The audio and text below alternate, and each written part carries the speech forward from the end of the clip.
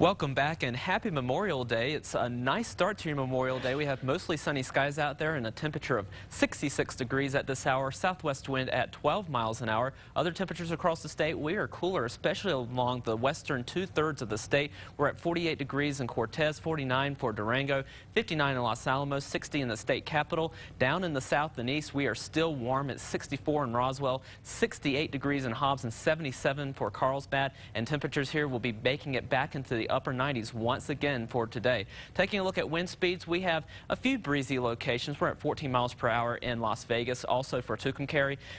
15 mile per hour winds in Clayton, 22 mile per hour winds up in Alamosa. The eastern portion of the state will be favored for the very gusty conditions. Winds could gust up to 50 miles per hour over the northeast, up to 40 miles per hour over the southeast. So we have red flag warnings in effect for the eastern portion of the state. Taking a look at our setup, we have an area of low pressure over the state of Utah. That will be heading to the north and west. We have a few clouds with this system passing through the four corners, but that's about it. Mostly sunny skies for the majority of the state and out ahead of the system, we're looking for wind once again focused over the eastern portion of the state. And along with this system, we're also looking for a cold front to pull through. We'll see much cooler conditions for much of the state today as we head through your Memorial Day before temperatures rebound tomorrow. Temperatures will cool down in the southeast until tomorrow, and you'll see that in your numbers coming up right now. Here's your zone by zone forecast. Starting off in the northwest, temperatures will be in the 50s and 60s today with lots of sunshine. It'll still be breezy, but not quite as windy as what we saw yesterday yesterday. Temperatures rebound rather quickly back into the 70s for Durango on Tuesday into the 80s for Farmington before better chances of showers and storms toward the end of the week. Taking a look at the southwest, temperatures will be in the 70s and 80s with breezy conditions around, mostly sunny skies, and will continue with mostly sunny skies as we head over the next couple of days before better chances of showers and storms toward the end of the week.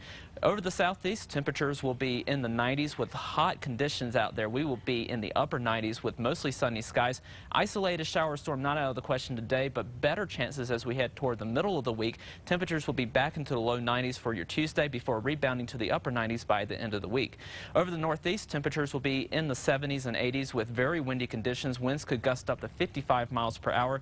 Your extended forecast for Las Vegas shows a warm up back into the low to mid 80s by the middle of the week with a better chance of showers and storms. Over the northern mountains, temperatures will be in the 50s and 60s with winds gusting up to 45 miles per hour.